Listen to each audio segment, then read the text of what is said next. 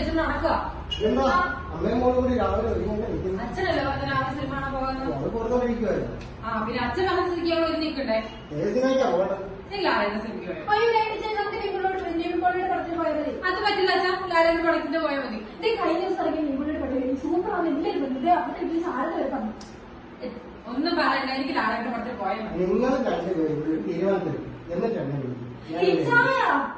എനിക്കൊന്ന് കേൾക്കണം. എനിക്ക് ലാലേട്ടൻ പടത്തിൽ പോയാൽ മതി. എന്ത് രസമാണ് ലാലേട്ടൻ സിനിമക്ക്? നിങ്ങൾ എവിടെ നിന്നൊക്കെ വരുന്നത്? പ്രായം ഇത്ര ആയില്ല അമ്മ. എന്നിട്ട് നീമ്പോളുടെ പടം കണ്ടിരിക്കുകയാണ് ലാലേട്ടൻ തന്നെ ലാലേട്ടൻ എന്നെ ഇല്ലാത്തുള്ളത് പറയാമോ ഉള്ളത്?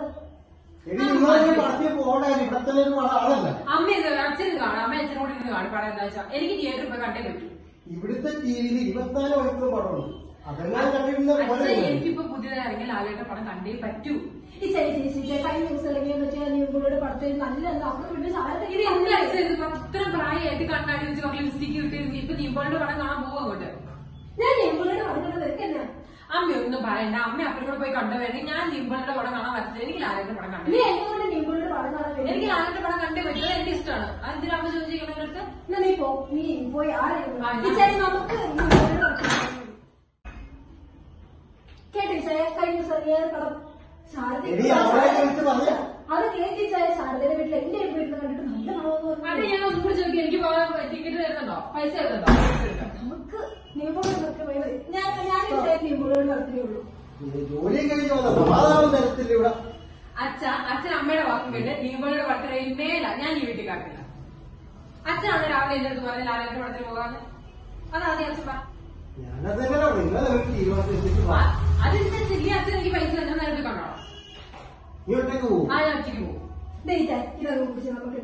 അമ്മ അമ്മ വലിയ കാര്യം ഇപ്പൊ ചായ അമ്മ സിനിമ കാണാൻ വേണ്ടി അത് നടക്കില്ല കേട്ടോ. ഇപ്പൊ ചായ തന്ന സ്ഥിതിക്ക് ഞാൻ വേറെ എന്തെങ്കിലും കാണിച്ചു തരും. മര്യാദയ്ക്ക് ഇവിടെ പോകും അതാ നല്ലത്. നീ എന്തെങ്കിലും കൊടുത്തത്?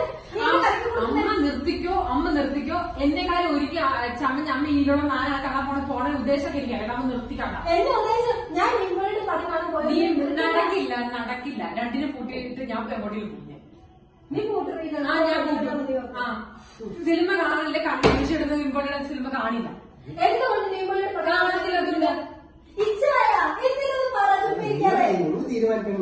നിങ്ങളോട് എനിക്കൊന്നും കേൾക്കണ്ട എനിക്കിപ്പോ ഒന്നേ ക്യാഷ് തരണം ഇല്ലെങ്കിൽ മൂന്ന് പേർക്കൊണ്ട് ഇമ്പോഴുള്ള സിനിമ കാണാൻ പോകാം പോകാൻ പറ്റില്ല. ലാലന്റെ പടം കാണാൻ പോകാം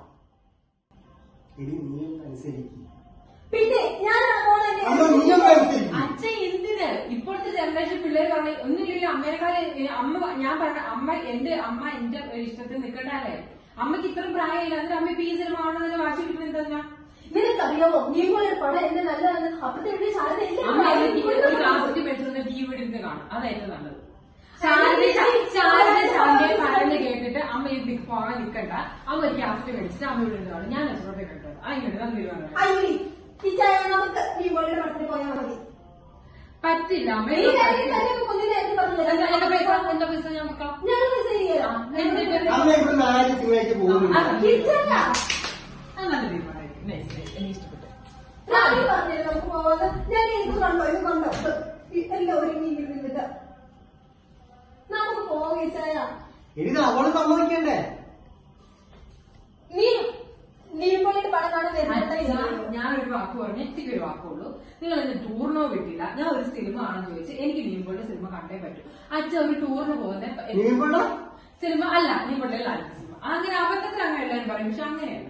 പക്ഷെ അച്ഛ ടൂറിന് പോകണം എത്ര പ്രാവശ്യം നിങ്ങൾക്ക് ക്യാഷ് വേണ്ടി വരും? അത് ഞാൻ പോകില്ലല്ലോ. ഞാൻ ഇപ്പൊ ഒരു സിനിമ ആണല്ലോ ചോദിച്ചു മോഹൻലാലിനെ ഇങ്ങനെ കുറച്ച് നടക്കും നടക്കും. അമ്മയെ കോപ്പാൻ ഞാൻ നോക്കില്ലോ കാര്യം പറയാം. എനിക്കിപ്പോ മോഹൻലാലിന്റെ സിനിമ കണ്ടേ പറ്റൂ. അച്ഛൻ പറയും അച്ഛന് സിനിമ ക്യാഷ് ആണോ ഏ, ലാഭം ടൂർ ക്യാഷ് ആണോ? അപ്പൊ അച്ഛൻ സിനിമ കൊണ്ടുപോയില്ലെങ്കിൽ ഞാൻ ടൂർ പോകും ഇത് അച്ഛൻ തീരുമാനിച്ചെന്താണോ എടി നീ കഴിഞ്ഞ എനിക്ക് തന്നെ ഉണ്ടായിക്കോളാന്ന് പറഞ്ഞ് എന്നിട്ട് ഞാൻ അങ്ങനെ പറയും. അതുകൊണ്ട് ഞാൻ നമ്മുടെ ചോദിച്ചാൽ അച്ഛനോട് ചോദിച്ചേ ഒരു അമ്മ എന്തിനു പടക്കി ഉറപ്പിക്കണം അമ്മയുടെ അടുത്ത് ചോദിച്ചാൽ അപ്പന്റെ അടുത്ത് ചോദിച്ചാൽ. അമ്മ ഒന്നും പറയണ്ട. ലാലയുടെ സിനിമ കാണാൻ പോകാൻ പറ്റുമോ അതെനിക്ക് അറിയാൻ മാത്രം മതി. ലാലിന്റെ പടം കാണാൻ പറ്റില്ല. ഇവിടെ എന്തും ആര് cinema first